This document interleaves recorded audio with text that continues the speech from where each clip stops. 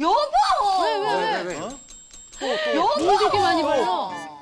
아니 저것도 제 개인 바디 저기예요. 로션이에요. 자꾸 바디 그러면. 크림이니까 바디에 발라요. 아 바디 크림.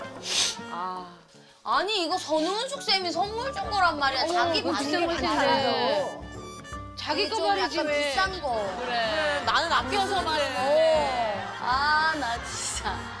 와, 내 그저께 뜯었는데 지금 이렇게 이만큼 지금 2cm가 없어졌다.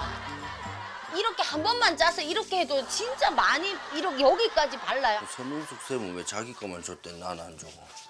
애 같다 애. 선웅 쌤이 향 좋게 가서 원효, 원효한테 가 이렇게 했는데 여보한테서 향이 떡칠 난다. 그럼 내가 자기한테 가면 되잖아. 아, 진짜. 아니 이렇게 예쁘게 써가지고 진짜. 돈 열심히 벌어갖고 이런 걸 할 수도 있는 거지.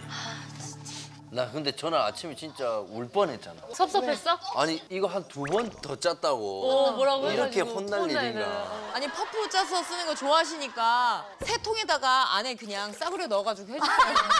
열 번이고 짜쓰게. 너무 좋다. 그러면 우리가 또 바로 캐치하죠. 내 몸은 또 좋은 거 안 좋은 거 바로 대단하다. 캐치하죠. 그거 알지? 아니 우리 집에도 화장품 진짜 많거든요. 난 진짜 안 쓰거든. 아예 뭔지도 모르고. 믿습니다. 시키 말래니까. 그래 보여, 그래 너무 보여. 써 있어요. 누워 있으니까. 뭘 자꾸 누워 아 이제 가봐라 가는 거야. 아유 드디어 식사하시고. 드디어 부엌이다. 밥하려고 지금까지 바른 거야? 뭐 저녁 먹을까? 드시는 거죠? 볶음밥 해줄까? 네. 뭐야, 세수 안 하고 뭐야? 스킨 바르는 거야?